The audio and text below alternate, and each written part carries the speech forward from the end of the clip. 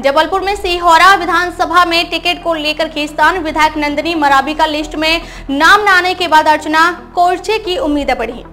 नमस्कार, मैं हूँ अंजना और आप देख रहे हैं द खबरदार न्यूज़। तो चलिए शुरुआत करते हैं इस वक्त की बड़ी खबर से। मध्य प्रदेश में भारतीय जनता पार्टी की बची हुई चौरानवे सीटों को लेकर कवायद तेज हो गई है। इन सीटों में जबलपुर की भी दो सीटें शामिल हैं। जिन्हें होल्ड किया गया है, जिसमें कांग्रेस के कब्जे में गई हुई उत्तर मध्य विधानसभा और सिहोरा विधानसभा में भाजपा विधायक नंदनी मरावी की सीट शामिल है।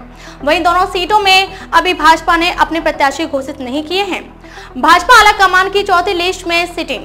विधायक नंदिनी मरावी का नाम न आने के बाद सिहोरा के अन्य दावेदारों की उम्मीदें बढ़ गई हैं। सूत्रों के मुताबिक, भाजपा हाईकमान के सर्वे में सिहोरा विधानसभा की सीट में नंदिनी मरावी की रिपोर्ट कहीं ना कहीं नेगेटिव आई है। जिसके बाद से ही कयास लगाए जा रहे हैं कि पार्टी सिहोरा विधानसभा से किसी नए कैंडिडेट को मैदान में उतार सकती है। जबलपुर में फ़िलहाल अभी तक लिस्ट में कोई भी महिला प्रत्याशी नहीं। हालाँकि विधानसभा चुनाव 2018 में जबलपुर की आठ सीटों में भाजपा हाईकमान ने दो सीटों में महिला प्रत्याशियों को जनता के बीच उतारा था, जिसमें बरगी विधानसभा से प्रतिभा सिंह और सिहोरा विधानसभा से नंदिनी मरावी का नाम शामिल था। लेकिन बरगी विधानसभा से भाजपा प्रत्याशी प्रतिभा सिंह को हार का सामना करना पड़ा था, जबकि सिहोरा विधानसभा की नंदिनी मरावी करीब साढ़े छह हज़ार वोटों से जीती थी, जिन्होंने कांग्रेस के प्रत्याशी खिलाड़ी सिंह आर्मो को पराजित किया था। सिहोरा विधानसभा में भाजपा से प्रत्याशी बनाई जा सकती है अर्चना सिंह।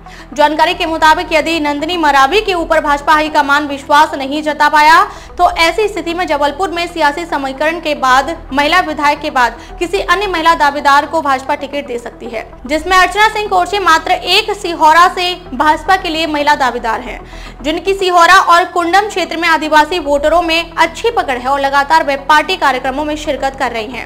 वहीं दूसरी तरफ़ कांग्रेस में भाजपा में शामिल हुए खिलाड़ी सिंह आर्मो अपनी दावेदारी कर रहे हैं बहरहाल कुछ दिन बाद ही भाजपा की अगली लिस्ट जारी होगी, जिसमें बचे हुए चौरानवे प्रत्याशियों के नाम शामिल होंगे, जिसको लेकर विधायक नंदिनी मरावी सहित अन्य दावेदारों की धड़कनें तेज हो गई हैं।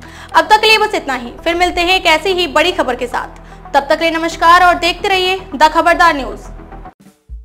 अगर आपको वीडियो पसंद आई हो तो वीडियो को लाइक करें, शेयर करें और हमारे चैनल को सब्सक्राइब करना ना भूलें।